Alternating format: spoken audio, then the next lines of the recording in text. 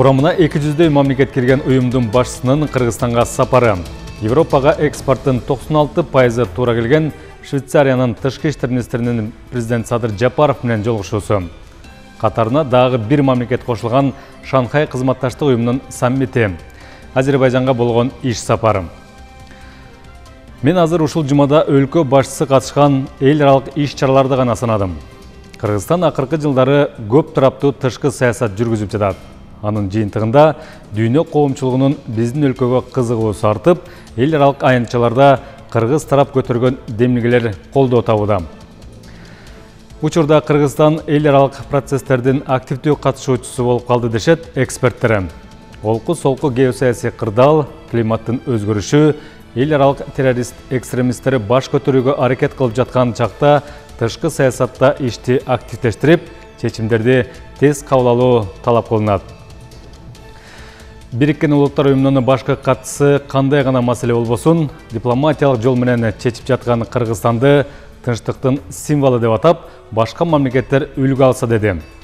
Өлкөдөгү өсүштү байкаган Антонио Гутерриш чаап бараткан гүлүк атка салыштырды. Кыргызстан тышкы саясатты жүргүзүүдө экономикалык кызматташууга басым жасоодо. Инвестиция тартуу, ири долбоорлорду ишке ашыруу артыкчылыктуу багыт. Алсак Кытай, Кыргызстан, Өзбекстан темир жолу Камбаратта бир кеси сыяктуу кылым курулуштары жанданып, жакында башталганы турат. Кыргызстан туруктуу өнүгүү максаттары программасында 166 өлкөнүн ичинен 45 орунга жайгашты. Мындай көрсөткүч олуттуу иштер жасалууда дегенди түшүндүрөт. Азыркы бийлик Кыргызстан 2030 жылга чейин алдыңкы 30 өлкөнүн катарына кирет деген дымактуу план койгон. Эксперттердин айтымында тышкы саясатта иштердин жигердүү жүргүзүлүп, демилгелердин эл аралык коомчулук тарабынан колдоо таап жатканы ички саясаттын күзгүсү. Өтүп бараткан апта өлкөнүн тышкы саясаты жаатында бир катар урчундуу окуяларга олуттуу жолугушуу эки жана көп тараптуу кызматташууну бекемдөөгө бет алган макулдашууларга бай болду алсак апта башында бириккен улуттар уюмунун башкы катчысы антонио гутерриш келсе анын артынан эле мамлекет башчысы садыр жапаров өлкөгө расмий сапары менен келген швейцария конфедерациясынын тышкы иштер федералдык департаментинин башчысы иниацио касисти кабыл алды. Андан соң мамлекет башчысы садыр жапаров астана шаарында өткөн шанхай кызматташтык уюмуна мүчө мамлекеттердин башчыларынын саммит саммитине жана азербайжанда түрк мамлекеттер уюмунун катышуучу өлкөлөрүнүн башчыларынын бейформал саммитине катышты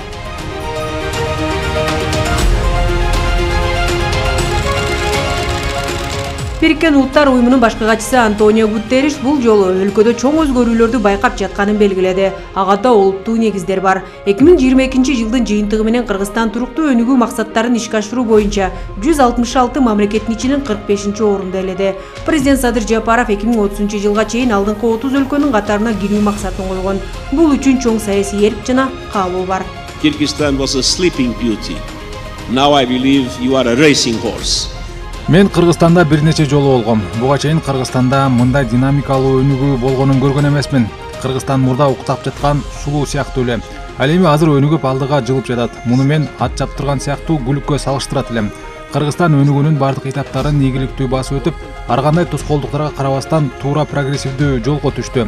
Өлкөдө бюджеттин эсебинен жүргүзгөн жүздөгөн мектептер ооруканалар жана башка социалдык объектилер курулууда мугалимдердин дарыгерлердин пенсионерлердин артыкчылыктары көтөрүлүүдө.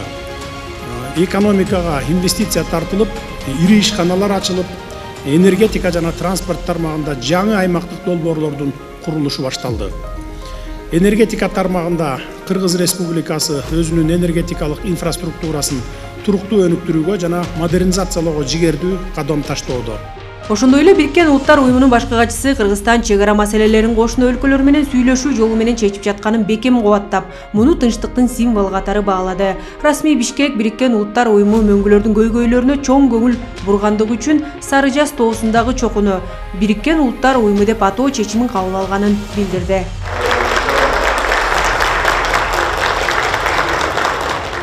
жогорку даражалуу конокту узатуу эле. Мамлекет башчысы садыр жапаров швейцариянын тышкы иштер федералдык департаментинин башчысы иниацио касисти кабыл алды. Ортодогу соода жүгүртүүнүн көлөмү бир миллиард доллардан ашканы белгиленди. Киргилешкен долбоорлорду ийгиликтүү ашыруу контекстинде. Садыр жапаров ысык көл облусундагы сүт азыктарын кайра иштетүү боюнча ишкананы. Ошондой эле швейцария жыйырма миллион швейцариялык франктан ашык салым кошкон ат башы кесин реконструкцияланышын айтып өттү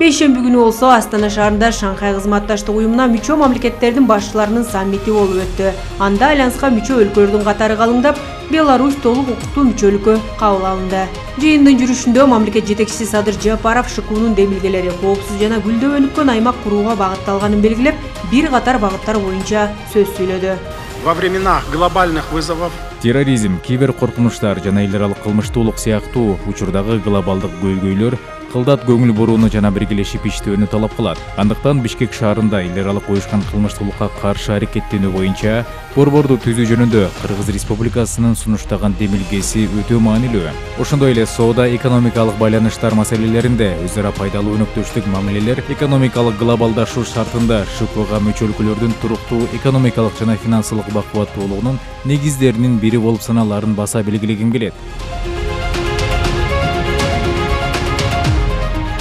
Астанадан соң мамлекет башчысы азербайжандын шуша шаарында түрк мамлекеттер уюмунун катышуучу өлкөлөрүнүн башчыларынын бейформал саммитине катышты негизги багыт альянстын алкагында транспорт байланыш жана климаттык иш чаралар аркылуу туруктуу келечекти түзүүнү камсыз кылуу президент өз сөзүндө эгерде климаттык өзгөрүүлөргө каршы иш чаралар көрүлбөсө климаттын өзгөрүшүнүн глобалдык божомолдору олуттуу жана кайтарылгыс натыйжаларга алып келерин баса белгиледи региондо суунун тартыштыгы күчөп жаткан шартта суу ресурстарын натыйжалуу жана үнөмдүү пайдалануу маселелери актуалдуу болуп турат ушуга байланыштуу кыргызстан эки миң жыйырма үчүнчү жылы бишкек шаарында энергияны үнөмдөөчү жана ресурс үнөмдөөчү технологияларды киргизүү боюнча аймактык борбор түзүү демилгесин көтөргөн.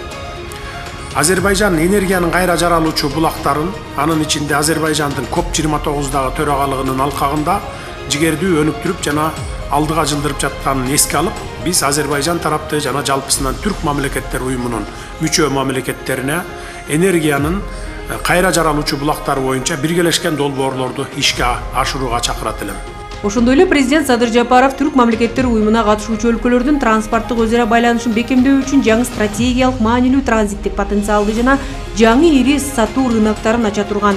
Кытай кыргызстан өзбекстан темир жолун куруу долбоорун ишке ашыруу өбүлгө болушу мүмкүн экенин баса белгиледи жыйынтыгында президент садыр жапаров иш чаранын катышуучуларын быйыл октябрь айында бишкекте өтө турган түрк мамлекеттер уюмунун кезектеги саммитине чакырды акмарал сабаттар рыскелди көкүлбеков ала тоо жыйырма төрт жума жыйынтыгы